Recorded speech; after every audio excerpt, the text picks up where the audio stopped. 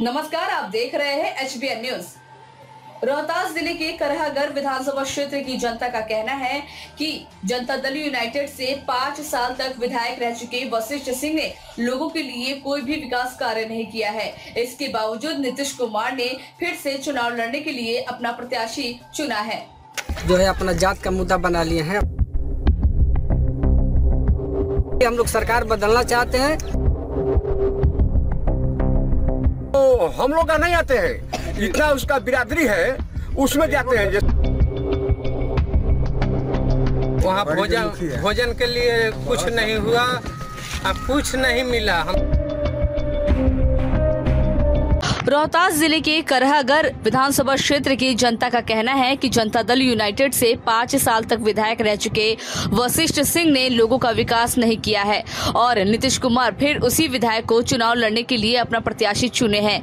लोगों का कहना है कि नीतीश कुमार एक तरफ़ दारू को बंद कराते हैं और वही उन्हीं का विधायक दारू में धराए और उन पर कोई कानूनी कार्रवाई नहीं हुआ और गरीब वर्गो के लोगों को धराए जाने पर जेल दिया जाता है। हम लोग करहागर विधानसभा में परिवर्तन करना चाहते हैं ताकि करहागर विधानसभा में लोगों का रोज़गार और विकास का कार्य हो सके। Bureau report HBN news. आप यहाँ का जो अभी चुनाव पहले भी विधानसभा से लड़े आज भी लड़ रहे हैं उनके बारे में क्या बताते हैं? देखिए रही बात की बसीर सिंह की तो बसीर सिंह यहाँ पर सबसे बड़ा जो है अपना जात का मुद्दा बना लिए हैं। अपने जाति बिरादरी में अधिकांशतः काम करते हैं। जो यहाँ की प्रजा है, पुनः उनसे ज़्यादा दुखित है। क्योंकि कभी आते हैं, अपने जाति बिरादरी के लोग में तो इसी तरह सफ़र करते हैं, थोड़ा मोड़ा रोकते हैं। बात विचार होता है, जो उनके संपर्क में होता है, नहीं तो चले जाते हैं। और रही बात विकास की तो विकास क्या किए हैं उन्हें विकास तो कुछ नहीं हुआ है। रोड की स्थिति आप देखिए रहे हैं अगर से आप आए हैं इधर क्षेत्र में पश्चिम क्षेत्र में देखिए रोड की स्थिति क्या है तो विकास आपको ज़्यादा हमको बताने की ज़रूरत क्या है खुद इसी रास्ता से आप आए हैं? और कोई विकास? और विकास यहाँ क्या हुआ है? यहाँ विकास कुछ नहीं हुआ है। यहाँ ब्लॉक में जाइएगा तो अधिकारी पैसा लेता है थाना में जाइएगा तो यहाँ पर सिपाही लोग पैसे लेते हैं। दारू जो है वो पूरा होम डिलीवरी हो रहा है। यहाँ विकास क्या हो रहा है? विकास तो सबसे यही बड़ा है। तो नीतीश सरकार आप परिवर्तन चाहते हैं? नीतीश कुमार को हम लोग वोट ही नहीं करेंगे ना। हम लोग नया पीढ़ी के नया नवजुवक हैं हमारे तेजस्वी बाबू हैं। बहुत अच्छा डीलिंग करते हैं बहुत अच्छा राजनीति करते हैं। हम उनका मतलब सरकार जो है बनाना चाहते हैं क्योंकि उन्होंने बोला है कि 10 लाख युवाओं को हमने नौकरी देंगे। तो बताइए यहाँ तो बिहार के बच्चों जो है अपना रोड के किनारे घूम रहे हैं। इतना यहाँ पढ़ लिख कर आ कोई ना वैकेंसी हो रहा है ना कुछ हो रहा है तो यहाँ का विद्यार्थी की क्या, हाल है वो तो आप खुद समझ रहे हैं। इसलिए हम लोग सरकार बदलना चाहते हैं और तेजस्वी जी को यहाँ से हम लोग जिताने का काम करेंगे। संतोष कुमार मिश्रा जी जी। जो कांग्रेस प्रतिनिधि हैं जी। क्या बशीष जी के साथ है? मैंने बशीष जी जो किए मैंने पहले बशीर जी जो थे गठबंधन में थे जी।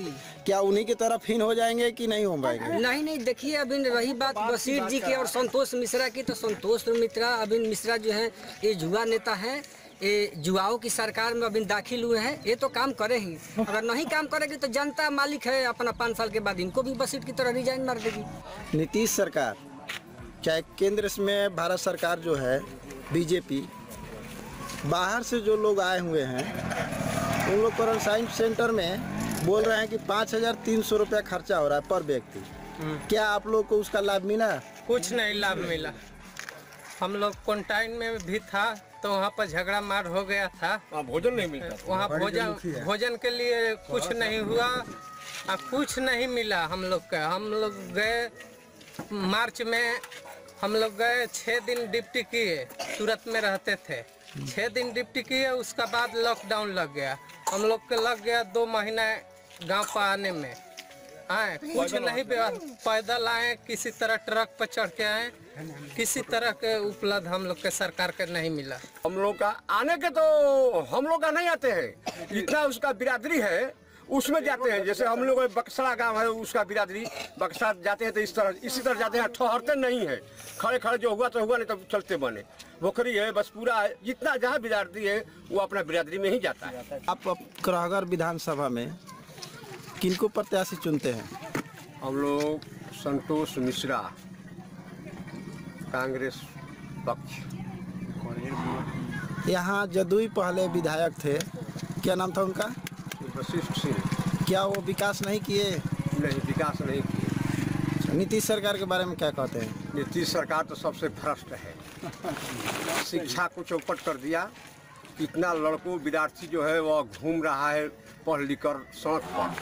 और ना उससे घर पर काम होता है और ना बाहर में काम होता है। यानी इसका मतलब आपके यहाँ नीतीश सरकार कोई विकास कार्य नहीं किया कोई नहीं किया है। नीतीश कुमार ने दारू बंद किया। लेकिन बिहार में दारू इतना बिक रहा है, इतना बिक रहा है कि माने कोई सीमा नहीं। जो नीतीश कुमार ने दारू बंद कर दिया, वो दारू वशिष्ठ सिंह ने खुलेआम उसको बेचवाता है। और यह हथियाता बेचवाता है। जैसे मान लीजिए कि कुर्मी जात का जो आदमी है, दारू बेचता है, पकड़ा गया तो शाम को पकड़ाया और सुबह छूट गया। और अन्य अन्य कोई जात हो, पकड़ाता है तो वो अभी आज तक से जेल में है। तो यहाँ के विधायक जातीय समीकरण पर ज़्यादा रहते हैं। हाँ बहुत ज़्यादा रहते हैं। रोड है देखिए करगन मेन रोड आए हैं करगन तो कितना रोड खराब हुआ होगा। और जाकर देखिए कुर्मी क्षेत्र का रोड चौड़ा कर कर उसको बना रहा है। और कहा छलका दे दिया कुर्मियों को हम लोग के किसान छलका बिना मर रहे हैं। पानी नहर नदी में जा रहा है। इसलिए खाली जातीय समीकरण करता है। क्या सच है क्या झूठ? अब होगा जो सच वही खबर। हमसे जुड़े रहने के लिए हमारे चैनल को सब्सक्राइब करना ना भूले और देखते रहे एच न्यूज़